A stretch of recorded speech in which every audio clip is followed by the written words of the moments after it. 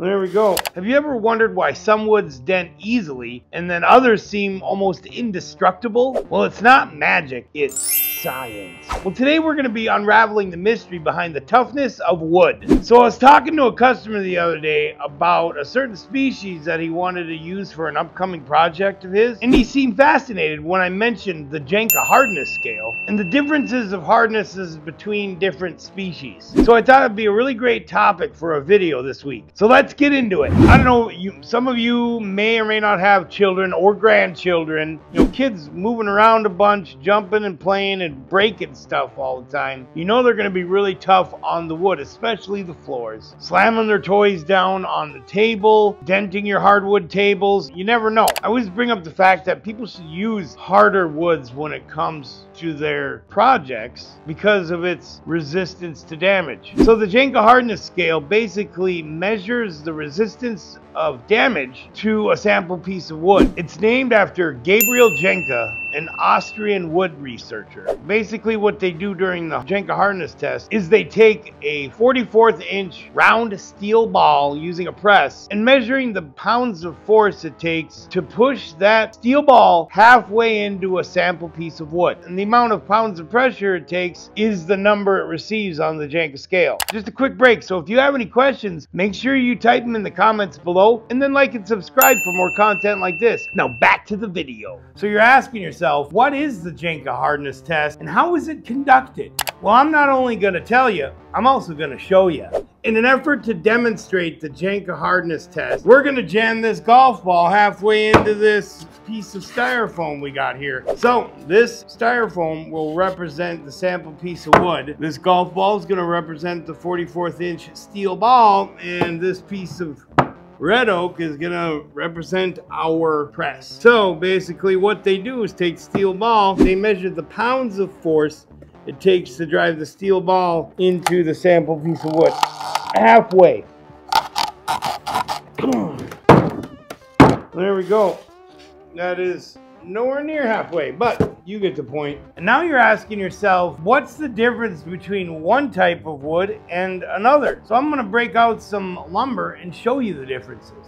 All right, guys, let's look at some North American species and how they measure up on the Janka scale. Over here, we have white pine, which measures a 380 on the Janka hardness scale.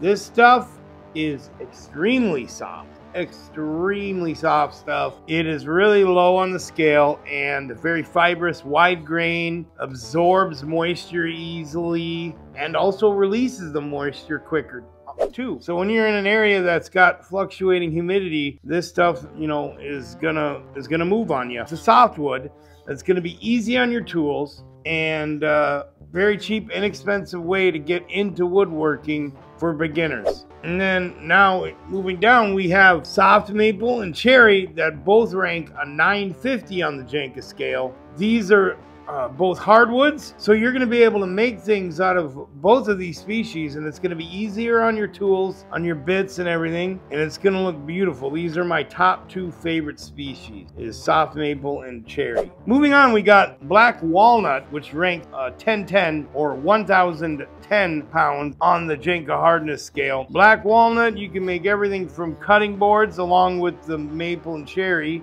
charcuterie boards, anything really decorative while still having that utility of being able to make it into tables, uh, countertops, uh, mantelpieces, really anything that you could set your mind to. Moving on, we have um, white oak face sawn. This is where we're gonna get into our tougher, more durable of the hardwood. These species are tough. It'll be a little bit tougher on your tools, but got White oak is very versatile when thinking about using it for um, anything really. Furniture, cabinets, you could do it. We, we cut a lot of this stuff green for trailer decking and blocking. All right, next up is hard maple, which ranks just a little bit higher at 1450, 1,450 pounds. This stuff is beautiful. A lot of people like to pair up hard maple with the walnut because of the color contrast, especially when making cutting boards, anything that you can put your mind to that needs to be durable. All right, last but definitely not least is our hickory. Now, this hickory is really tough stuff. Hickory ranks 1,820 on the Janka scale. A lot of people use this hickory for smoking. A lot of people use hickory for cabinets as it is very extremely durable, highly resistant to wear and tear, hickory flooring, hickory anything really. So understanding the Janka scale can help you choose the right wood for your next project. But remember, the higher the number, the harder the lumber. So thanks for watching. Make sure to like and subscribe and click here for the next video. Actually, technically it's a second take. The higher the number, the harder the lumber.